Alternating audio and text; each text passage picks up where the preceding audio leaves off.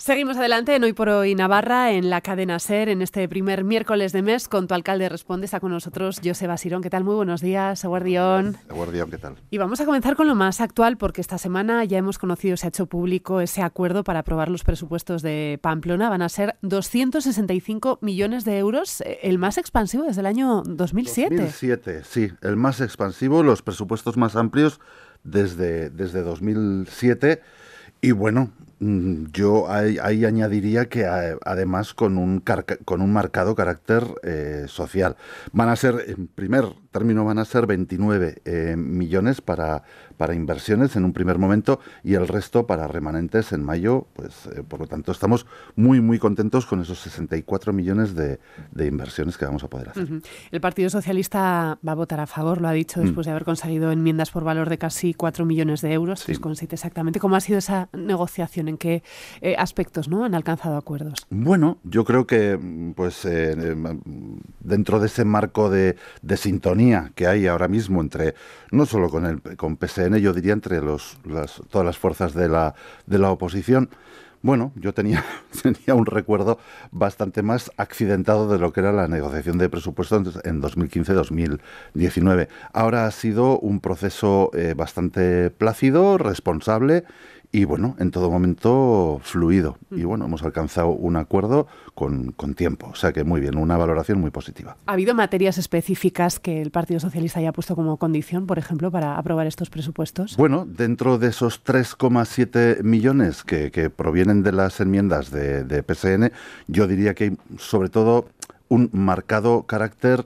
de actuación en lo que denominamos la, la ciudad consolidada, ¿no? Pues eh, asfaltado, conservación de calles, etcétera. Pero bueno, también tiene su lógica porque es que en el resto de cosas dice, es que el PSN aporta un 3,7 millones, pero sí es que en la mayor parte de las cosas estamos de acuerdo. Los, los grandes proyectos de ciudad, los que venimos anunciando desde principio de legislatura, Paseo de Sarasate, el plan de vivienda, la capitalidad mundial de la pelota, son, son eh, proyectos compartidos. ¿Cuáles son, por cierto, las eh, principales partidas, ¿no? las inversiones que van a contemplar estos eh, presupuestos de, bueno, este pues, ¿Qué eh, proyectos van a salir adelante, por así decir, con estas cuentas? Va por ahí, va por donde decía yo, hombre, mm, me vas a permitir los detalles concretos de las partidas y de los proyectos, los daremos a conocer el, el lunes, sería ahora por mi parte probablemente mm, bastante mm, no apropiado, vamos a decirlo así, adelantar lo que vamos a, comunicar en rueda de prensa en, el, próximo lunes, pero en cualquier caso sí es verdad, no se nos escapa que los grandes proyectos, las grandes inversiones van a ir, por ejemplo, en el, en el tema de, de Sarasate, que es un gran proyecto de, ciudad. También nos ilusiona muchísimo la terminación de, de, Pío 12, que es un proyecto de 2015-2019 que ha quedado sin terminar, y por supuesto el plan de vivienda, el plan de, vivienda asequible, y social. Esto, junto con otros eh, proyectos eh, macro, como puede ser, por ejemplo, el plan de, barrios, pueden ser los que se lleven pues la, parte grande ¿no? de los presupuestos. Creo que de hecho hay 50.000 euros para impulsar un plan de participación mm. ciudadana para resignificar ¿no? la situación de los caídos. ¿Cuál es el plan mm, para los caídos en esta legislatura? Bueno, eh, como comprenderás, nosotros ya en 2015-2019 dejamos un guion eh, escrito. Un guion que, desde nuestro punto de vista, por desgracia, en estos últimos cuatro años y medio no se ha seguido, se, se abandonó. Pero para nosotras y nosotros, dar continuidad a, los caídos em, tiene que bascular en torno a dos cuestiones. Y son dos, no es una, son dos cuestiones. Una es la cuestión memorialística y la otra es la cuestión urbanística. Hay que resolver el entorno de los caídos de la Plaza de la Libertad en estas dos cuestiones. No vale una sí y la, y la otra no. Por lo tanto, es una doble eh, cuestión. Mm, en su momento eh, quedaron encima de la mesa seis, siete proyectos eh, seleccionados y yo creo que mm, se recoge dentro de esos proyectos seleccionados se recoge todo el abanico de posibilidades que quiere y que demanda la ciudadanía, desde la resignificación del edificio hasta su desaparición física. Y ahora lo que tenemos que favorecer es la participación de la ciudadanía para que decidan en qué punto se quieren situar. Antes hablamos del Partido Socialista de Navarra, ellos no están muy por la labor de, eh, digamos, de ruir ¿no? el, edificio. Esa es la riqueza de, la ciudad, ¿no? Eh, hay colectivos, sobre todo colectivos memorialistas, que em, proponen sin ningún tipo de ambajes por la desaparición del, del edificio y hay otros colectivos y otros, otros grupos de opinión, dentro de los cuales se enmarca eh, PSN, que eh, de alguna manera dicen que se quieren quedar en la resignificación. Yo también tengo mi, opinión, por supuesto que sí, pero creo que aquí, ahora mismo, como, como alcalde, mi posición tiene que ser la de reforzar lo que decida la mayoría. Pero se va a llegar a un acuerdo, un consenso mayoritario respecto a este asunto. ¿Es una decisión que se puede tomar mm, desde alcaldía? Esperamos dejarlo resuelto en esta legislatura, sí. Bueno, estamos hablando de los eh, presupuestos que se van a aprobar el próximo 26 de marzo, pero antes, este jueves, el Pleno va a abordar modificaciones presupuestarias por valor de casi 13 millones de euros. ¿A qué van a ir destinados estos 13 millones de euros? Bueno, hay, hay cuestiones que, quedan eh, pendientes. Hay muchísimos eh, proyectos que, están puestos en marcha desde la pasada legislatura o incluso desde antes, a los cuales hay que dar, hay que dar eh, continuidad. Y como te decía antes, el lunes que viene saldremos en rueda de prensa y lo especificaremos todo de arriba abajo. No quisiera generar, generar mal, no voy a decir ambiente, pero bueno, malos sentimientos en mis compañeros de, corporación por adelantarme.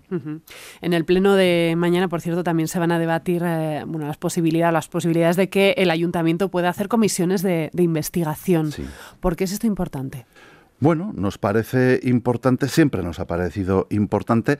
Además, hay que tener en cuenta que esto es algo que en otros ayuntamientos y en otras instituciones está totalmente normalizado. El reglamento eh, del ayuntamiento no eh, decía de manera específica que se pudieran sacar adelante comisiones de investigación ni que no se pudiera. Pero fue una interpretación del anterior, eh, del alcalde Enrique Maya, que como no se decía específicamente que se podían hacer, consecuentemente no se podía. Entonces, bueno, nosotros lo que dijimos, decidimos en aquel momento es que íbamos a proponer y que vamos a impulsar un cambio normativo para que sí sean eh, posibles. Creemos que es algo muy saludable y bueno, como no tenemos absolutamente nada que esconder, pues lo vamos a sacar adelante. Si alguien está preocupado por ello, pues sus motivos tendrán. Pero ahora tienen en mente el poder hacer alguna comisión concreta de investigación. Sí, hay, eh, está pendiente, por supuesto, por sacar adelante y seguir trabajando la, por la, la posible utilización de recursos públicos en beneficio del partido durante la pasada legislatura por parte de UPN. Y si sale adelante en el Pleno, entiendo que se llevará a cabo ¿no? esta comisión. Impulsaremos esa, esa comisión de investigación, sí. Bueno, hace un par de semanas también retomaban las reuniones de, la Mesa de los Sanfermines para iniciar ese proceso de elección de persona o entidad que lance el chupinazo de este año. ¿Cómo fue, eh, digamos, ese punto de encuentro ¿no? que se retomaba? Bueno, pues eh, eh, también es otra otra cuestión la de la melostra de los Sanfermines que en los últimos años pues casi se había pasado por alto. Yo creo que es el mejor foro para hablar de, de San Fermín.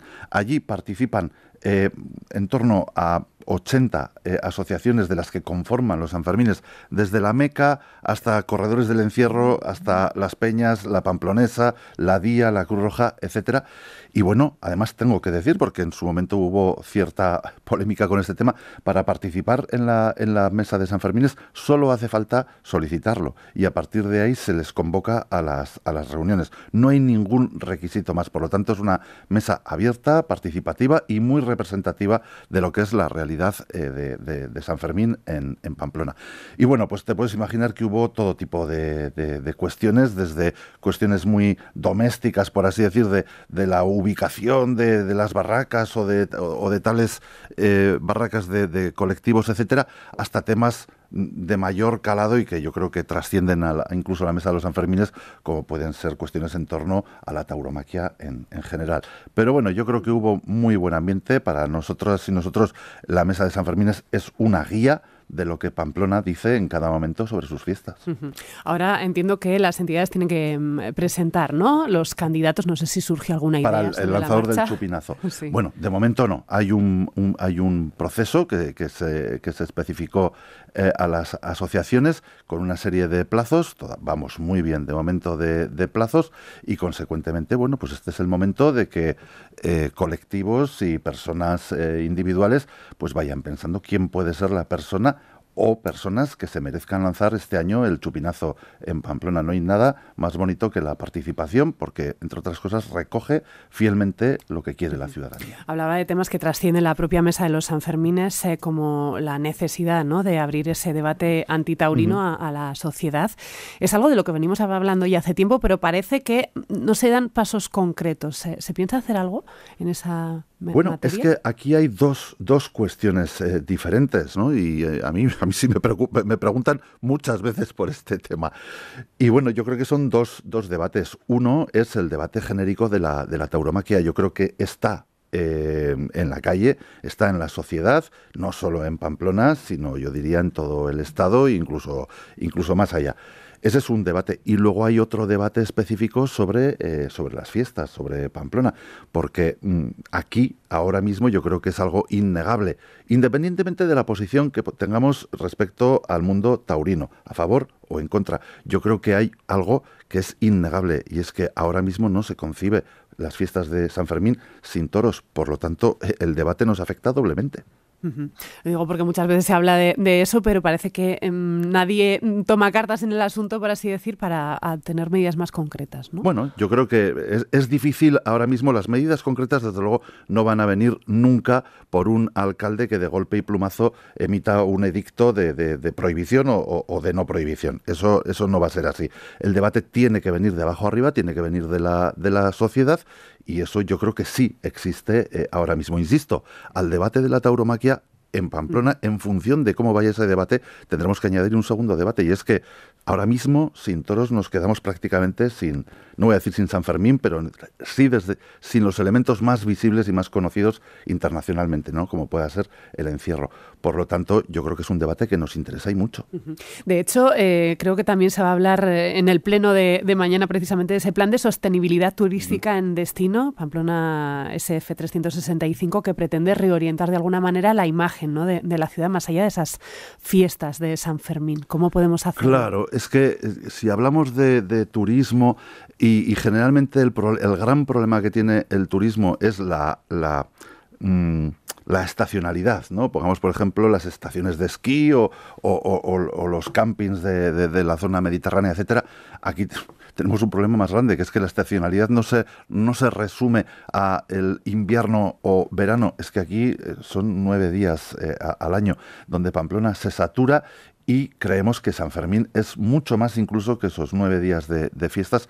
Hay mucho más, se proyecta la, la, realidad de San Fermín a lo largo de todo el año y además creemos que la gente que pueda venir en un primer momento atraída por las fiestas eh, mundialmente conocidas de Pamplona, hay que engancharle a otros circuitos, circuitos turísticos, quiero decir, eh, culturales o circuitos eh, gastronómicos, etcétera. Pamplona y Navarra en general tienen muchísimos más atractivos que sus, que sus fiestas y hay que conseguir atraer a gente ¿no? para esto. Bueno, las fiestas que transcurren sobre todo en el casco viejo, ahí nos vamos a quedar porque el último de los foros de barrio precisamente ha transcurrido ahí en el casco viejo y se ha puesto sobre la mesa el tema del polideportivo, de las huertas de Santo Domingo, del parking. ¿Qué intención tienen para esa zona? No sé si es una posibilidad, ¿no? Retomar esa idea. Bueno, eh, claro, eh, ahí como, como bien sabes, el, el tema de Santo Domingo podría resolver varios problemas. El, aparcamiento en la, en la, zona de, delantera de, educación podría resolver un problema de, aparcamiento en el, en el centro, en el casco histórico, que también no cabe ninguna duda de que existe. Y luego, además, podría eh, resolver al mismo tiempo, también eh, poniendo en la, en la parte superior de ese parking, eh, instalando un polideportivo. También la carencia de instalaciones deportivas cubiertas en el casco antiguo es evidente. ¿Cuál es el problema aquí? Existe un, un proyecto de hace muchísimos años con un, un, presupuesto que ahora mismo se nos antoja pues desfasado, desfasado. Entonces es un tema de una gran eh, inversión que sí o sí necesita de, consensos. Ahora mismo lo que tenemos que hacer desde el gobierno municipal es trabajar esos consensos. Tenemos también muchas preguntas que nos han mandado nuestros oyentes, en este caso para otro barrio, en el de Ripagaña. Nos preguntan, ¿qué partidas del presupuesto van a Ripagaña? Visto que el diseño del Civibox se va a financiar con los presupuestos del gobierno, ¿hay alguna partida específica para el barrio? Bueno, pues... Mm, Hablando de presupuestos otra pues, vez. Pues eh, efectivamente existen porque, bueno, mm, es algo conocido, pero lo voy, voy a aprovechar para, para manifestarlo. El, proyecto de Cibox para Ripagaña lo va a realizar el, ayuntamiento, lo va a pagar el ayuntamiento y además lo va a pagar en este año 2024. Por lo tanto, ya está en, en marcha este tema. Creemos que es algo eh, eh, importante Sabemos además que en Ripagaña eh, el gran problema que tiene, el acuciante problema que tiene es el de la, por así decir, descoordinación entre las diferentes administraciones. Y bueno, queremos renovar también los, los convenios entre las, entre las eh, localidades en las cuales se enclava ahora mismo el barrio de, de, Ripagaña, la zona de Ripagaña. Y lo que sí nos gustaría, y no lo voy a negar en, en absoluto, es que con el tiempo Ripagaña pasara a constituirse en el decimoquinto barrio de Pamplona. ¿En qué punto estamos respecto a eso? Lo digo bueno, muchas reuniones ¿no? entre alcaldes se habla de que eh, lo más fácil para el barrio sería ingresar ¿no? en uno de estos municipios. acabo acabo de, comentarte ¿no? que em, desde el Ayuntamiento de Pamplona vamos a, realizar, vamos a sacar adelante el, proyecto de Civibox este año. Mm, en la medida en que hay incertidumbre sobre cuál va a ser el futuro de, esa zona, es más complicado ponerse de acuerdo entre, los, las localidades que de alguna manera tienen que hacer inversiones sin saber a medio plazo qué es lo que va a ocurrir. Esto tiene un vicio de origen que es que no se pueden hacer así las cosas y no se puede eh, plantear la construcción de un futuro eh, barrio donde hay que hacer grandes inversiones pensando a lo mejor en el negocio de la vivienda, pero sin dar, dotarles al mismo tiempo de soluciones en lo que se refiere a dotaciones. Esto es lo que ha ocurrido históricamente en, Ripagaña y esto es a lo que hay que poner resolución cuanto antes, porque lo que sí está claro es que la gente de Ripagaña paga sus impuestos y consecuentemente tiene derecho también a recibir dotaciones. Lo digo porque en su momento se hablaba eh, por parte de los ayuntamientos hacer un estudio ¿no? de qué supondría asumir económicamente el barrio. Bueno, claro, eh, porque eh, hay ya hay alguna localidad algún ayuntamiento como Huarte que ha manifestado claramente que bueno, que no están especialmente interesados en que Ripagaña a futuro, pero claro, las soluciones pueden ser varias, todas menos la solución actual, es decir, puede ser que finalmente dependa de Pamplona una de las, eh, de las zonas implicadas, o dos, o tres, o todas.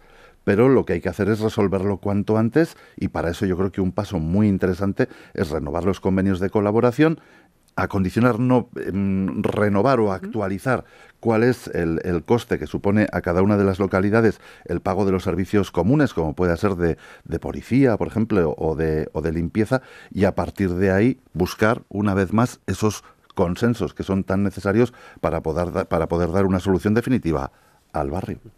Bueno, volvemos otra vez al centro de Pamplona. Marian, vecina de la calle Amaya, nos pregunta, ¿para cuándo ampliar las aceras y disminuir el tráfico rodado en nuestra castigada calle? No sé si, estando como está ahora la situación del tráfico en Pamplona, es algo que se puede hacer. Bueno, sí, claro, lo que ocurre es que hay que actuar de manera integral, o sea, lo que no se puede es actuar únicamente en la calle Amaya. Esto es lo que ocurrió en la pasada legislatura lo recordamos perfectamente, se actuó en la calle Amaya sin tener en cuenta otros condicionantes y ¿qué ocurrió? Pues que la calle Amaya colapsó y se convirtió durante unos meses en un auténtico caos eh, circulatorio.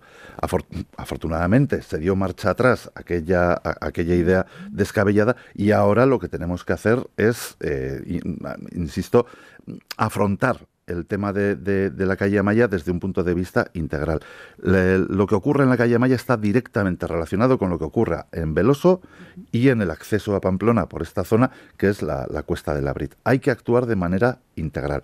Y desde luego, para esta eh, legislatura, nosotros mm, nos planteamos, aparte, por supuesto, eh, intervenir en, Veloso será un paso importantísimo. Creemos que para abril de 2025, en un año aproximadamente, este tema podrá estar eh, resuelto y a continuación afrontar el tema. Eh, mientras tanto, bueno, mientras tanto... Intervenir en Veloso no solo con el corredor eh, que ya está diseñado... Globalmente, también integral. Yo creo que las Porque se hablaba en su momento de hacer una rotonda en, la, en el entorno de la gasolinera. Tiene que haber una, una solución integral para estas zonas, porque las soluciones parciales al final lo único que hacen es eh, emborronar el resultado final. Nosotros creemos que ahora mismo en eh, la calle Amaya hay que intervenir fundamentalmente en lo que es el, tratamiento del firme, que está muy maltratado por las intervenciones recientes, y y también en las aceras mejorar todo el tema de, de accesibilidad, etcétera. Y mientras tanto, la resolución de eh, la zona de, Veloso y de la cuesta de la Brit nos facilitará también tomar decisiones en Calle Maya. Estos días hemos hablado aquí, nos ha llamado la atención em, el hecho ¿no? de que los tractores hayan entrado al centro de, Pamplona y parece, bueno, Policía Municipal ha trabajado mucho, pero ha dado la sensación de que no ha generado tanto inconveniente eh, como pudiera parecer que, digamos, e, el centro, no sé si hay ideas de que pueda llegar a peatonalizarse de alguna forma o reducirse ese volumen ¿no? de, de tráfico que soporta actualmente. No sé si esto nos ha dado alguna idea. Bueno, eh, técnicos eh, tiene el ayuntamiento que lo, que lo analizarán. Lo, que sí te puedo decir, sin ninguna duda, además, en este momento, es que si no ha habido más eh, conflicto y si no ha habido de alguna manera un, colapso, primero ha sido porque la gente reaccionó y a tiempo y de manera muy responsable, tengo que decir, y luego a un esfuerzo descomunal también de policía municipal que se, que, bueno, que, lo, dio absolutamente todo para minimizar las consecuencias. Insisto, la responsabilidad ciudadana y el trabajo de policía municipal fueron claves para que no se generara, generara en este momento un grave conflicto de, tráfico en el centro de Pamplona. Em, otro de los temas que nos trasladan los oyentes, nos escribe un miembro de una asociación que trata temas de salud mental, dice, en su momento eh, hablaron de la posibilidad de que les cedieran el convento, ahora en ruina, en Aranzadi. En su momento se les dijo por parte eh, eh, de, Durne Guino, eh, que su uso estaba ya comprometido y hoy pregunta si ya se sabe qué se va a hacer con él. Entiendo que bueno, ellos querrán saber también si tienen posibilidades. ¿no? Hay que decir es que es un espacio muy interesante y con muchísimas oportunidades. Es un edificio muy interesante de, Fernando Redón. En segundo lugar, hasta donde yo sé, efectivamente existió un proyecto, existe si quieres, un proyecto por aglutinar en Agustinas asociaciones que tienen que ver con la eh, salud pública, no solo con eh, enfermedades eh, mentales, por así decir. Y bueno, nosotros es algo que no lo vemos mal. No lo vemos mal. ahora mismo el problema es que lleva muchísimos años de, abandono. No solo desde 2015 aquí, sino incluso desde antes el edificio nosotros ya lo conocimos en una situación bastante penosa. Entonces, bueno, lo que nos gustaría a nosotros es por supuesto, en esta legislatura, por lo menos, por lo menos, darle un, un destino, pero para ello tengo que decir también que va a ser necesaria la implicación del Gobierno de Navarra porque las inversiones son muy grandes. El edificio está en una situación de deterioro grande y cualquier destino final que se le vaya a dar va a requerir de, grandes inversiones. Bueno, vamos a ir con la última pregunta, aunque tenemos más, eh, las dejaremos para próximas ediciones. Esta es de Joaquín y nos dice, en la pasada legislatura remodelaron la planta baja de la antigua estación de autobuses, creando Geltoki, algo que le ha parecido muy bien a este oyente, pero nos pregunta si van a hacer algo con las cuatro plantas que hay encima, si sabe el alcalde que aún hay inquilinos viviendo en el edificio y que está en un estado mejorable. Em, ¿Qué se va a hacer con, este edificio? Sí, conozco que está viviendo eh, gente, que hay todavía renatarios y sí, conozco que la situación eh, no es buena de, este, de estas viviendas y de este edificio. Es otro caso en el cual no se pueden aplicar parches de ningún, de ningún tipo. Yo creo que el edificio tiene que tener una, solución integral. Sabéis que, desde mi grupo hemos propuesto, y además lo dijimos en, campaña también, queremos la recuperación del edificio, no lo queremos eliminar, no lo queremos derribar, queremos que el edificio se conserve con esa valiosísima plaza pública que tiene en su, en, su interior, una plaza pública cubierta, algo que en Pamplona es muy necesario y muy raro, de encontrar. Además, es un, un, edificio que forma parte de la memoria colectiva de Pamplona como edificio de, autobuses y también como eh, memoria histórica donde bueno se refugió en su momento en, el reloj eh, gente durante la represión de, de, la guerra civil. Y luego también estamos muy interesados por supuesto en ese proyecto de economía local sostenible que existe en, en las antiguas taquillas y finalmente en las viviendas que queremos que sean viviendas eh, sociales.